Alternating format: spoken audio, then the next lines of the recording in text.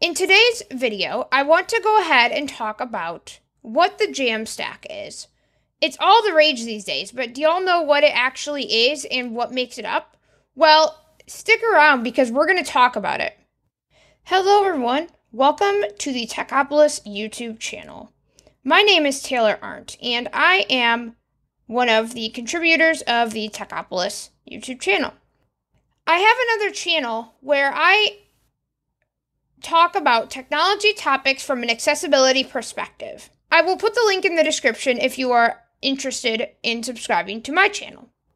It is my mission to help people to become more accessible and more inclusive and get themselves online for the first time. Before I actually talk about the Jamstack, though, I want to make sure that we're all on the same page.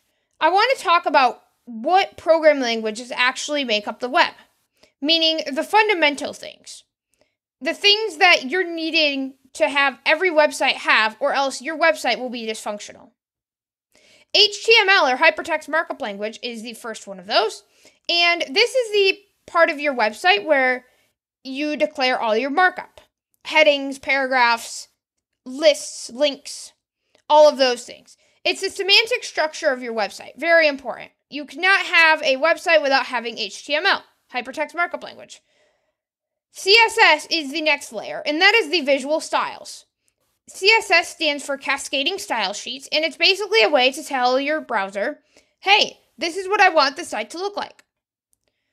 Next, we have JavaScript, or JS. JavaScript, or JS, as the industry likes to call it, is the next level, and this is what makes your websites interactive.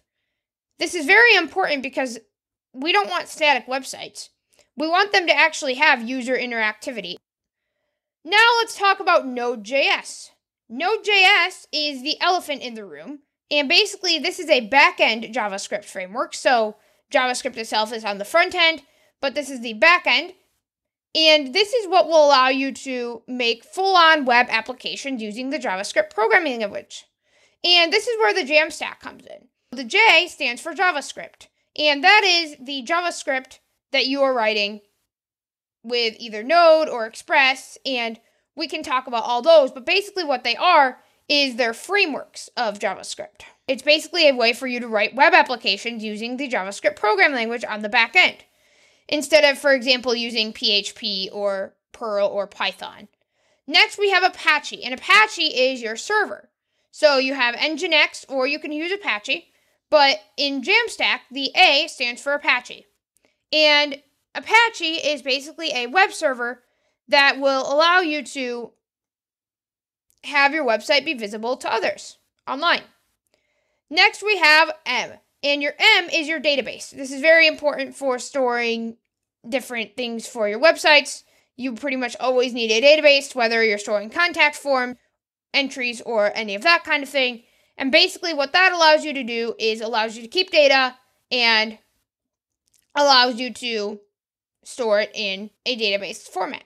And there are two common databases that are used in the stack. We've got MySQL and MongoDB.